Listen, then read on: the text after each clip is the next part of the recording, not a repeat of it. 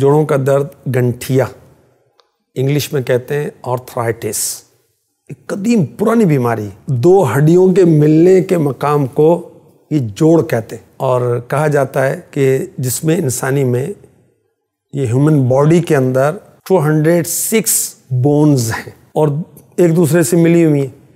जोड़ों के ज़रिए इन हड्डियों से मिलकर हमारे पूरे जिसम का ढांचा स्केलेटन है। जोड़ों के दर्द की अलामत क्या होती है? कि जोड़ों के अंदर आम हालात में और बिलखसूस चलने फिरने के दौरान दर्द होता है। सूजन हो जाती है स्वेलिंग हो जाती है, जिल्द स्किन गर्म हो जाती है। सुबह के वक्त जोड़ों में जकड़न वगैरह, ये अलामतें और जोड़ों के दर्द के असबाब क्या हैं? खाने पीने में बेहतियाती करते हैं। यूरिक एसिड बढ़ जाता है। जो लाइफ स्टाइल है ना, जो अंदाज ज़िंदगी है, वो दुरुस्त नहीं है। बैठने का अंदाज दुरुस्त नहीं है। विटामिन डी की कमी, ये भी जोड़ों के दर्द का सबब बनता है।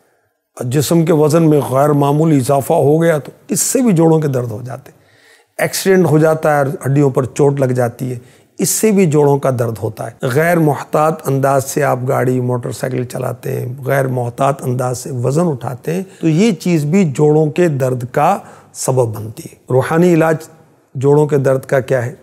रीढ़ की हड्डी है, घुटने हैं, जोड़ हैं, जिसम में कहीं भी दर्द है। चलते फिरते उठते बैठते, या गनी हो, या गनी हो, या गनी हो, या गनी हो। पढ़ते रहें इन करीम दर्द जाता रहेगा। या मुगनी या मुगनी या मुगनी या मुगनी, एक बार पढ़कर हाथों पर दम करके दर्द की जगह पर मलने से इन करीम सुकून होगा।